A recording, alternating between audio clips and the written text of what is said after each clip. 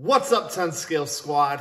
I feel really fortunate every time that I read the comments and I hear from a lot of you saying, hey, I'm getting back into the hobby and this video helped me. Or I'm new to the hobby and I didn't know where to start and your videos were a great resource. That is awesome. Pretty much everything that I've had on this channel have been like ready to run stuff. But back in the day, that was kind of the exception and not the rule. Most RCs that you would buy came as a kit that you would have to assemble yourself. Whether it was like the Tamiya stuff or the Losi stuff. In fact, my first RC was a kit. But nowadays it's hard to find a kit build that isn't targeted toward an experienced hobbyist. That is, until now.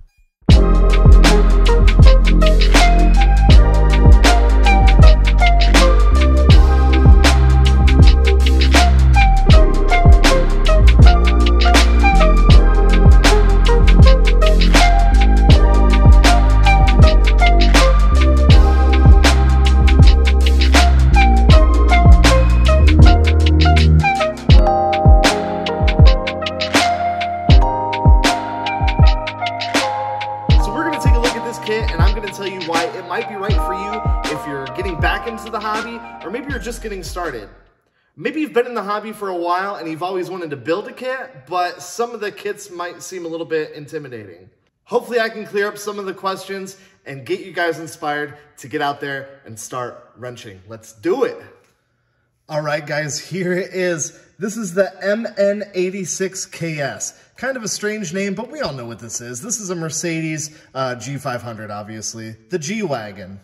This is a 112 scale crawler that comes as a kit, completely disassembled. But the detail is pretty incredible. I mean, you've got working doors, the working rear hatch, you got a full scale interior in there. I mean, the thing is pretty cool looking. The hood opens and uh, you can get to the motor and everything in there. How cool is that? This just uses a little 380 motor, but uh, that should be plenty of power for this little thing. And everything that you need to build this is in the box, minus tools, a radio system, and an ESC. And when I say tools, these are the only tools that I use to put this whole thing together. So if you've got a small precision screwdriver and a wheel wrench, you're good to go. That's all you need. Everything, the servo, the motor, the even the grease for the diffs, it's all in the box. Now guys, it's not all sunshine and rainbows. Look at what Customs did to this box. They gave it the old slash and dash. I mean, they could have opened it super easy right here if they wanted to inspect it, but nope, they just got a box cutter and went to town on this thing. Uh, reassembling this box is probably gonna be more difficult than assembling the car, believe it or not. Jeez, freaking customs. But even after the box fiasco, I wasn't missing any parts for this thing.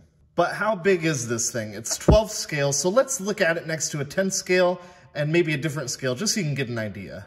Here it is next to a 10 scale car. This is my Kyosho Fazer Mark II. So as you can see, uh, as far as Mercedes goes, we got a pretty sweet collection here. Still plenty big to be doable outside. This isn't like an indoor only kind of crawler. Now this is also something that you can build in kit form or ready to run. Obviously this one's in ready to run.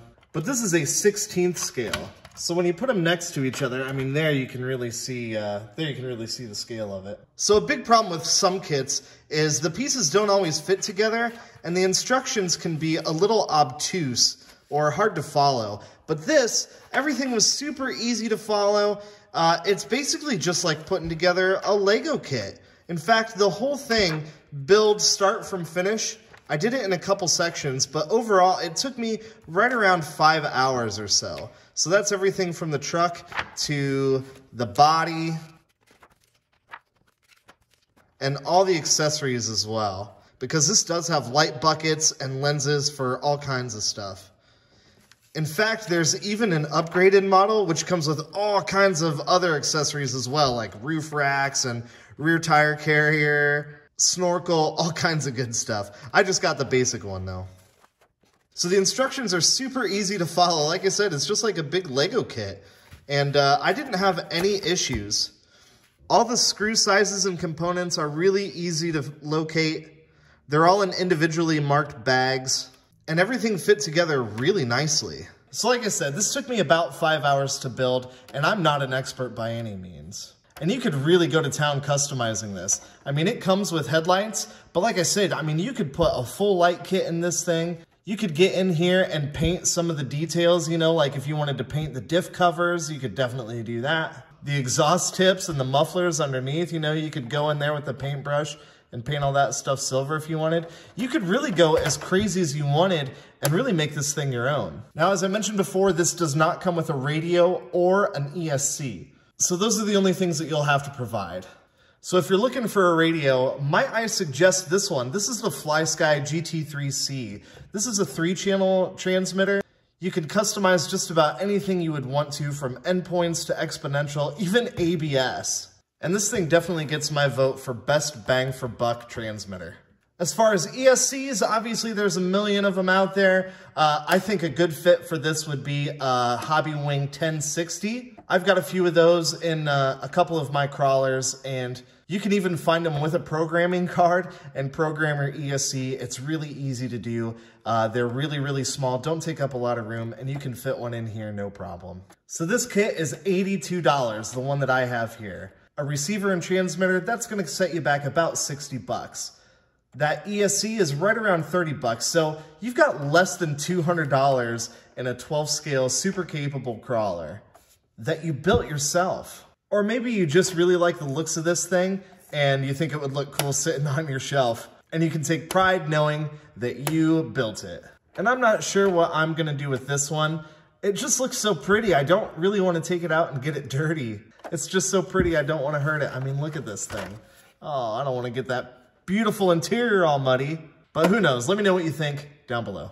Now, sure, there's going to be some people in the comments saying, that's not a real crawler because it doesn't have blah, blah, blah, blah, blah. And yeah, while this isn't going to be the most capable of crawlers, it might be just as satisfying to drive knowing that you built it yourself. So taking something that's just a bag of bolts and parts and taking it and having fun with it outside, knowing that you built it yourself, man, that's what it's all about. So if you're interested in buying one of these, I'll put the link in the description. All right, guys, there you have it. What do you think? Are you into building kits? Is this something that you've wanted to try, but maybe you just couldn't get inspired to do it? Or maybe I'm totally crazy. Whatever it is, let me know down, uh, down, down there. As always, a big thank you to these guys floating in space right here, the 10 Scale Squad. If this is your first time checking out the channel, welcome. I'm glad you found it. I like to do RC shenanigans like this all the time. I've got some cool stuff coming up. You're gonna want to stick around. All right, guys. Until next time. if you don't listen that much.